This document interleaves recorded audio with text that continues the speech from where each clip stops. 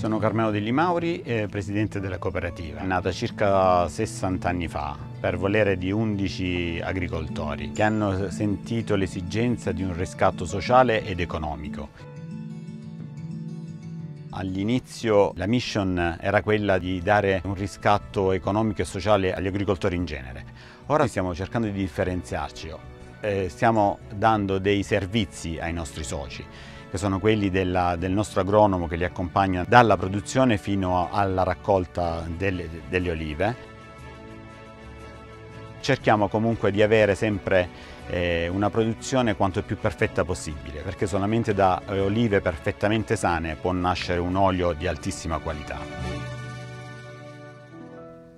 Noi siamo Cooperativa dei Gasperi, noi siamo Terra dei Messapi.